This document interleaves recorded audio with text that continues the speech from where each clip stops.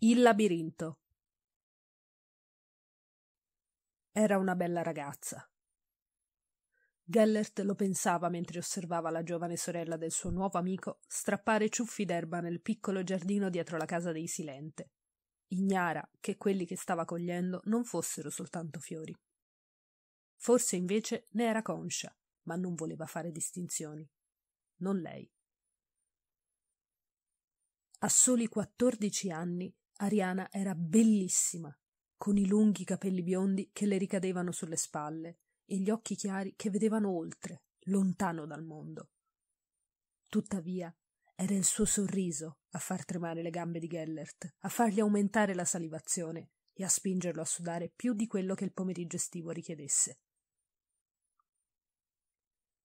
Ecco a te, la voce di Albus lo riportò a ciò che stava accadendo nella stanza, mentre fuori, sotto il sole che tramontava, il fratello stupido faceva cenno ad Ariana di rientrare.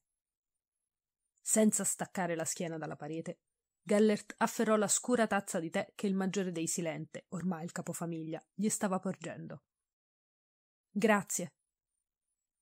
Si ricordò di sorridergli gentilmente di rivolgergli lo sguardo che aveva scoperto destabilizzare quel ragazzo sicuro di sé che era Albus Silente. Era solo un mese che si conoscevano, ma Gellert lo aveva subito inquadrato. Intelligente, ambizioso, in attesa di qualcosa che cambiasse la monotona estate che gli si sarebbe altrimenti prospettata davanti. Albus era la persona giusta per raggiungere lo scopo che Gellert si era prefissato e non gli interessava quante carte false avrebbe dovuto fare per averlo nella missione.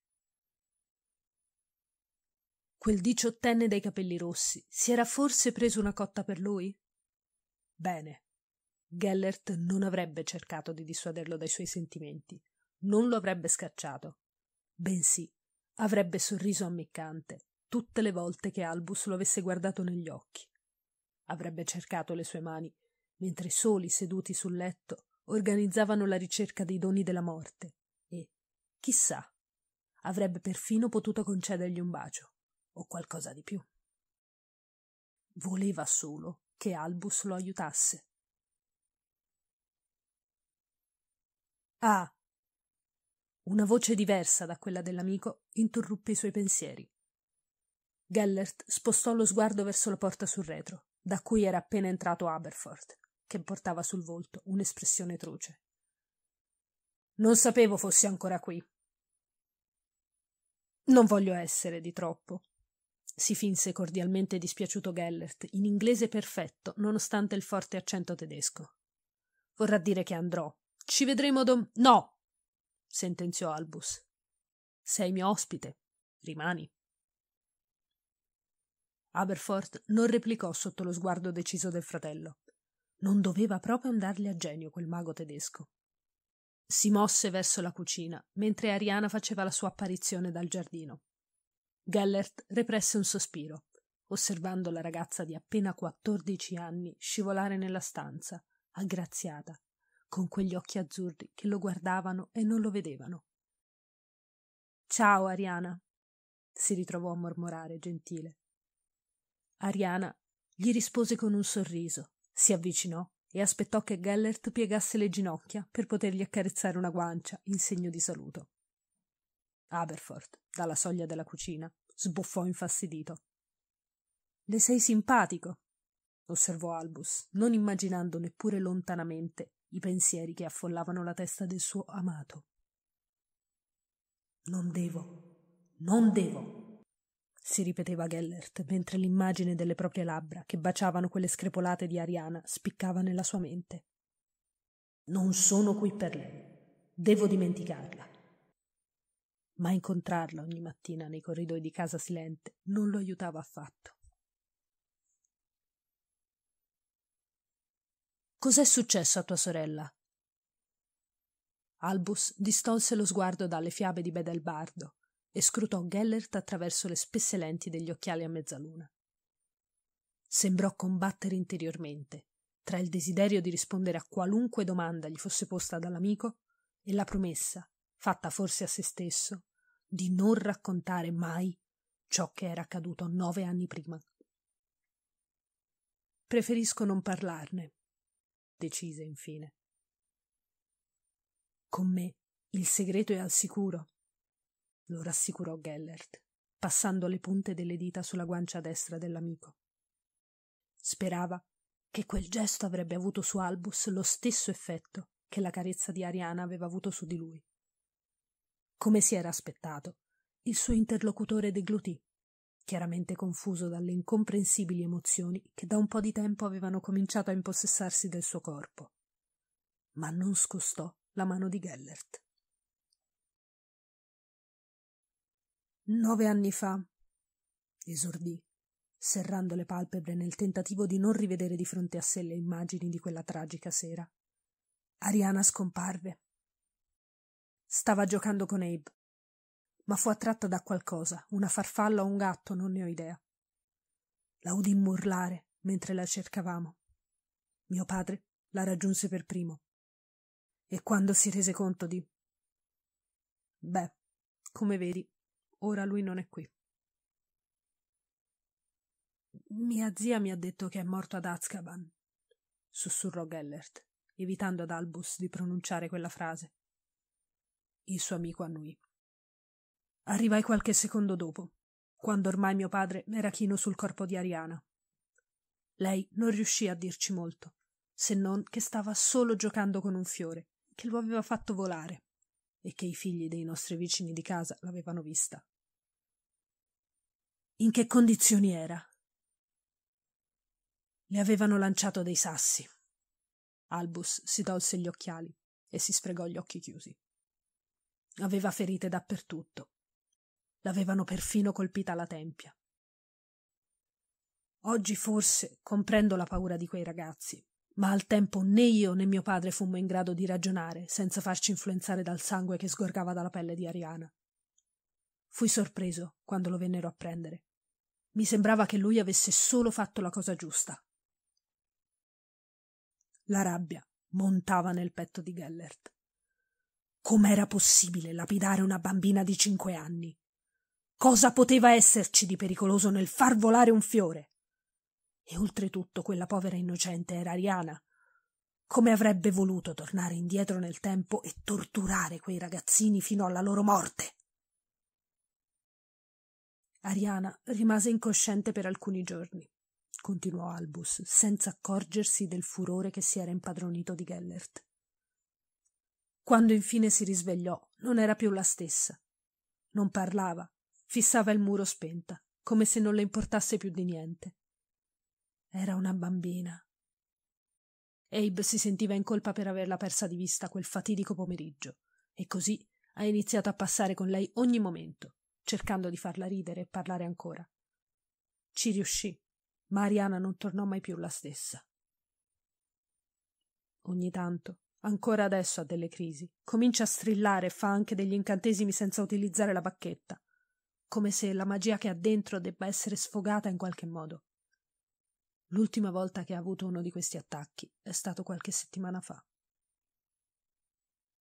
Gellert sapeva cosa voleva dire. Durante l'ultima crisi, Ariana aveva accidentalmente ucciso sua madre Kendra. Era così bella, così apparentemente indifesa, eppure un solo attacco di rabbia era capace di renderla un'altra persona. Pericolosa. Come puoi immaginare, non abbiamo mai voluto portarla a San Mungo. Temevamo che l'avrebbero trattenuta lì, che sarebbe stata ricoverata a vita. Gellert gli prese le mani. È per questo che stiamo cercando i doni, gli ricordò. Perché i maghi non debbano temere che lasciando soli i propri figli loro rischino la vita. Siamo dei reietti agli occhi dei babbani, Albus. La ricerca dei doni. Come faremo quando Abe tornerà a Hogwarts? Ariana non può restare sola. La prima cosa che troveremo sarà il mantello dell'invisibilità. Potremo portarla sempre con noi. Nessuno la vedrà e lei potrà finalmente uscire di qui e viaggiare. Spostò di nuovo il palmo della mano sul volto di Albus. Per il bene superiore. Ricordi? Per il bene superiore, ripeté Albus, prima che le labbra di Gellert bagnassero le sue.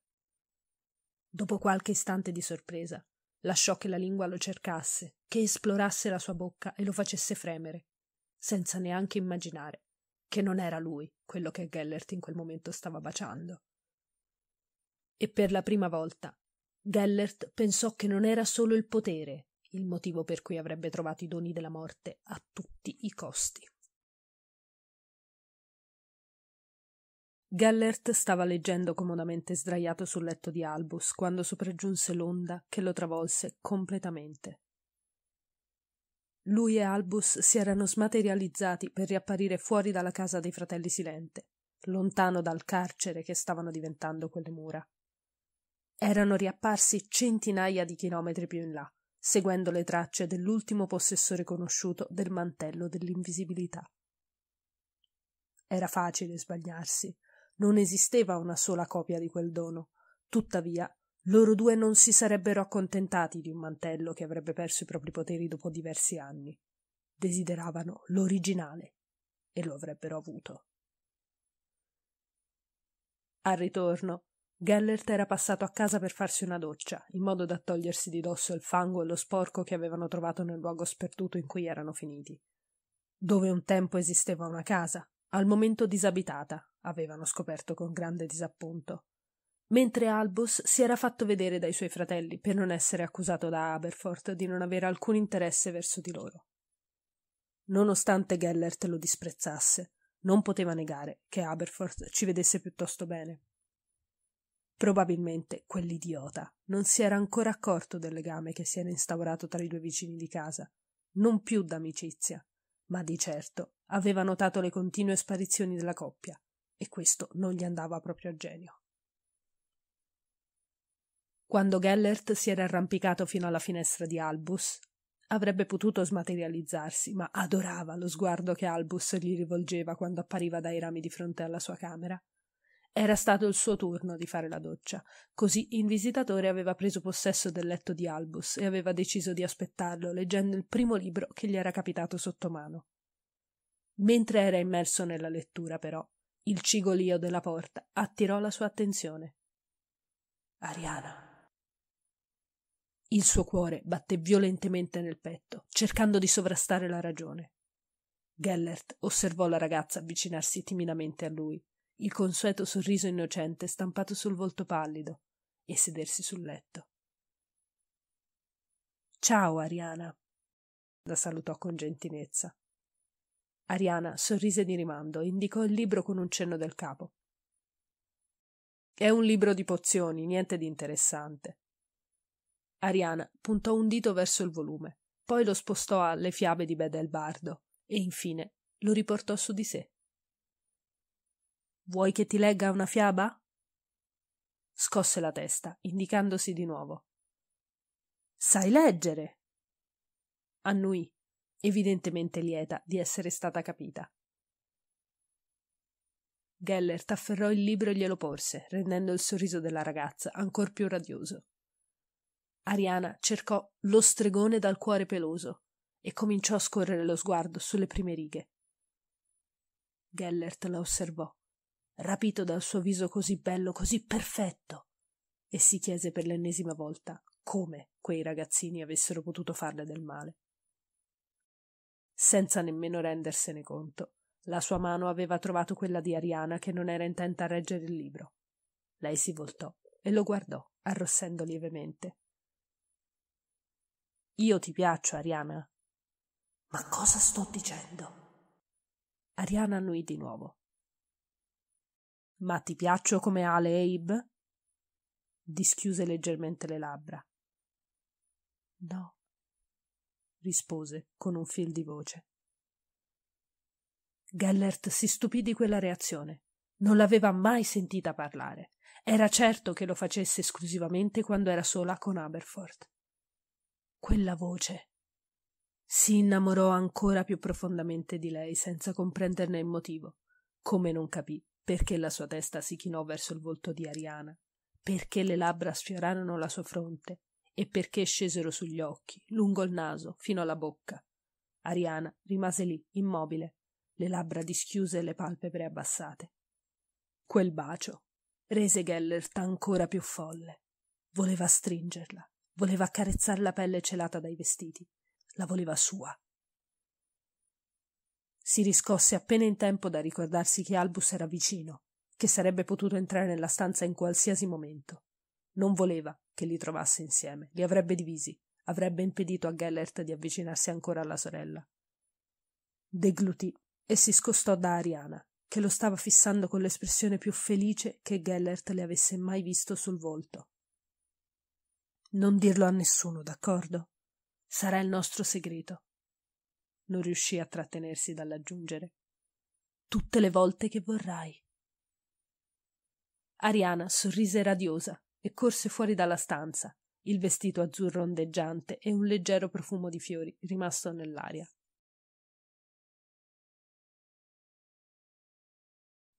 Chi era l'amante tra i due? Ariana, a cui rubava rapidi baci e carezze sempre più intense nei rari momenti in cui restavano soli? O Albus, che gli cingeva la vita e le cui labbra cercavano Gellert con passione, ormai dimentico dell'imbarazzo iniziale? Nessuno sapeva dell'altro, e Gellert ringraziava il cielo che fosse così. Se solo Albus avesse scoperto che stava insidiando la sua sorellina pazza. Aberforth aveva evidentemente intuito in che modo si era evoluto il legame tra lui e Albus, ma Gellert dubitava che ne fosse andato a parlare con Ariana. Ariana. Il tempo che passava con lei era breve, sempre troppo breve per il dolce tormento che stava lacerando il petto di Gellert.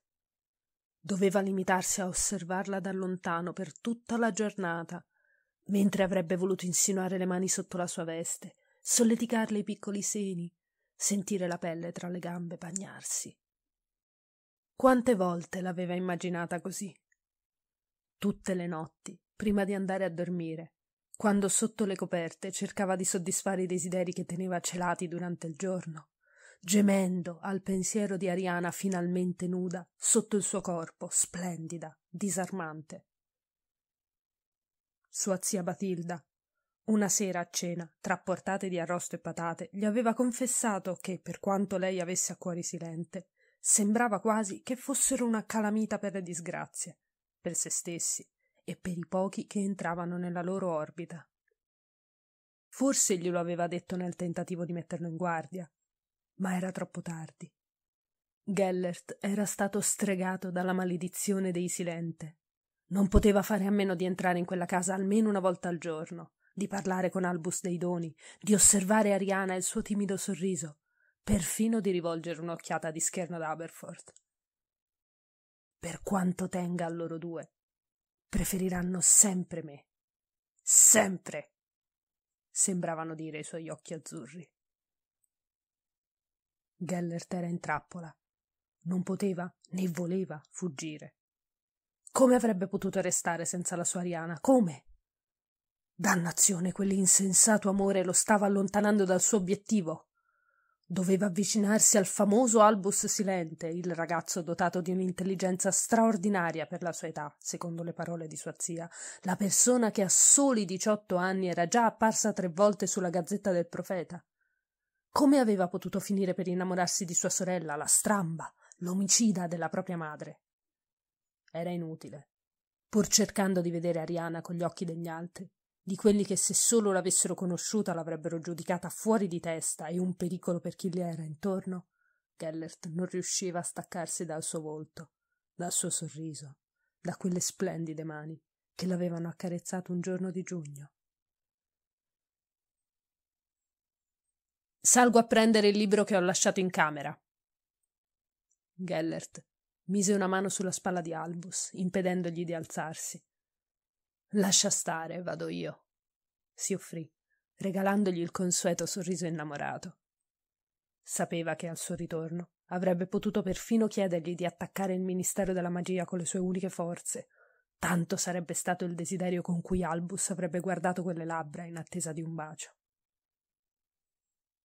Certe volte, si disse mentre saliva le scale della casa dei Silente, la sua mente si prendeva ampiamente gioco del grande Albus, sottovalutando il mago ingegnoso ed esperto che si celava dietro quegli spessi occhiali a mezzaluna. Entrò nella stanza, ravvivandosi i folti capelli biondi con una mano, e sorprese Ariana china sulla scrivania del fratello. Sorrise di nuovo, questa volta pregustando già il bacio che avrebbe dato alla ragazza, qualche secondo di travolgente amore in più rispetto al solito. Chiudendo attentamente la porta, si avvicinò a lei senza fare rumore, cingendole infine la vita e posando le labbra sul suo collo nudo.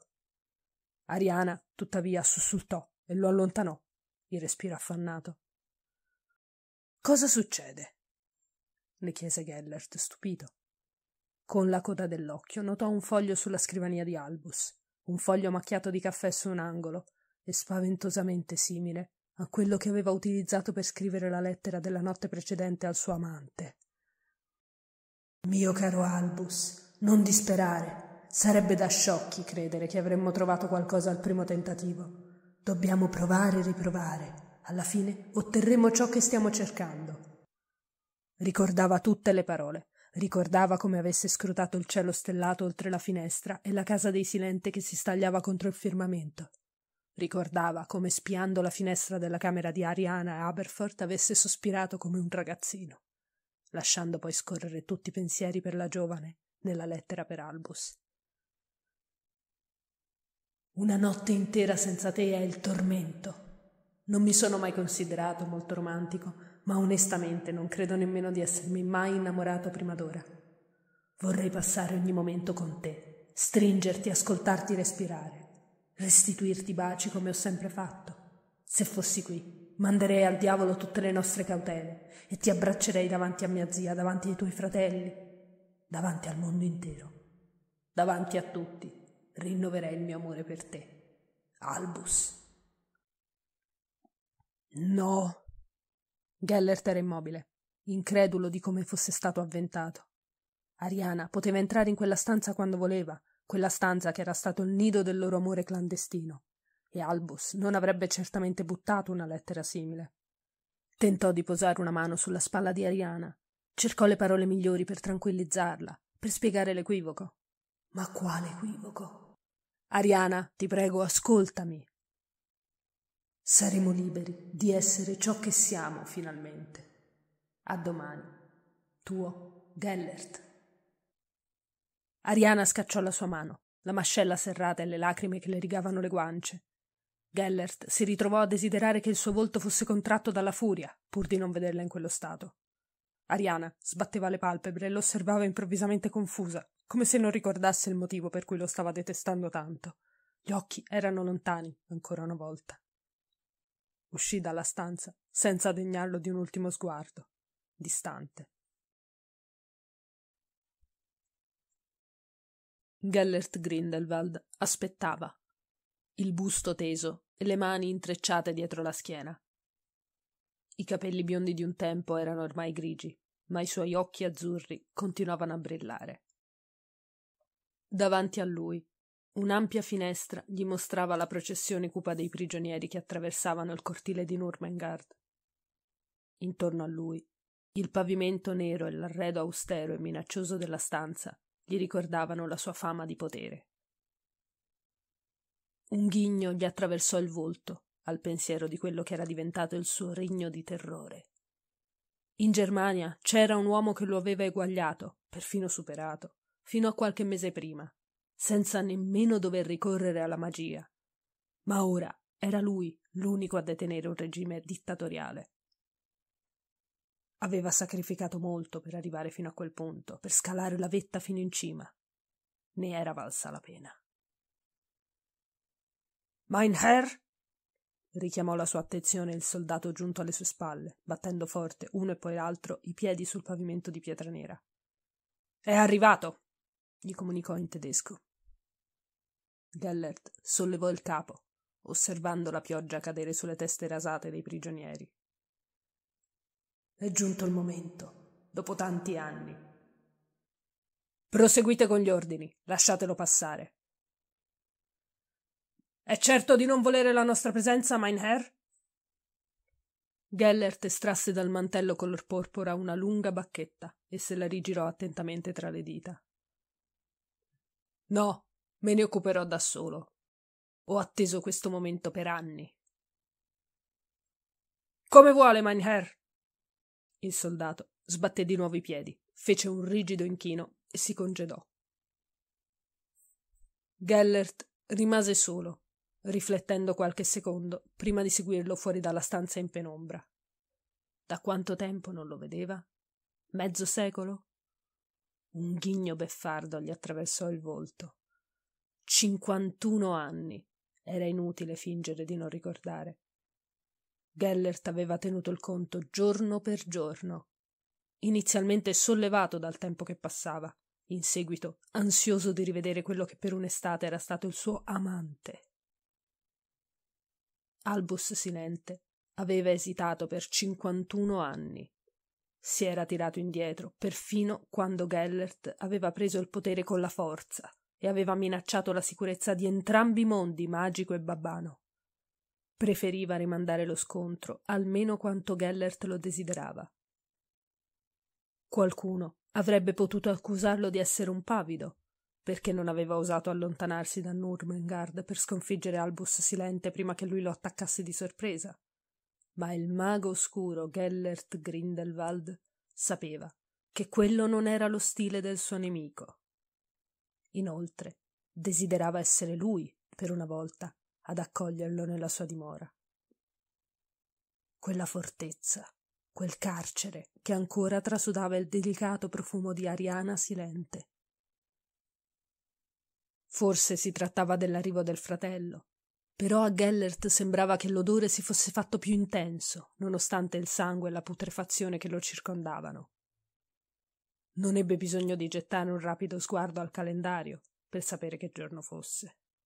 27 agosto 1945, il cinquantunesimo anniversario della morte di Ariana. Cosa sarebbe accaduto se quel fatidico pomeriggio una maledizione senza perdono non avesse colpito la ragazzina? Ora avrebbe avuto sessantacinque anni e avrebbe regnato al suo fianco, splendida e raggiante come una regina che non doveva celare la propria esistenza Oppure le mire di un disperato Gellert si sarebbero spostate dalla bacchetta di Sambuco al mantello dell'invisibilità e, mentre nella Germania cessava di dilagare il nazismo, i due non più giovani sposi avrebbero vissuto in un'isolata casetta di montagna, uscendo ogni giorno per fare una passeggiata protetti dal mantello? Gellert attraversava i possenti corridoi della sua fortezza e nel frattempo si rispondeva che la vita o la morte di Ariana non avrebbero cambiato il corso degli eventi. A farlo sarebbe stata quella lettera. Ariana non lo avrebbe mai seguito, non per rancore, ma perché non ricordava nemmeno chi fosse Gellert prima di quel giorno.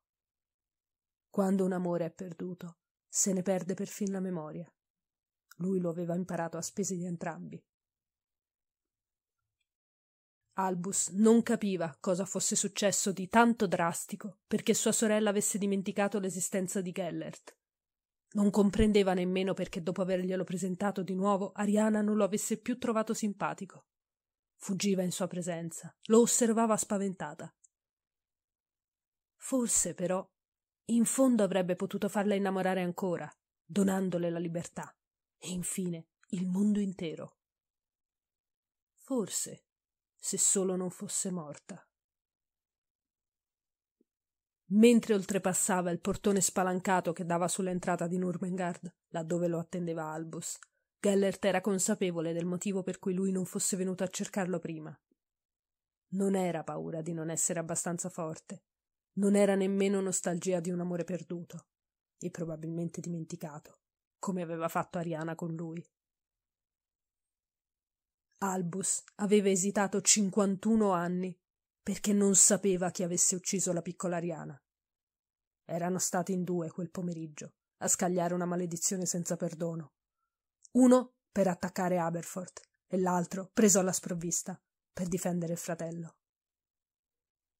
Gellert scostava il mantello ondeggiante dietro le spalle, pronto a rivelargli la verità.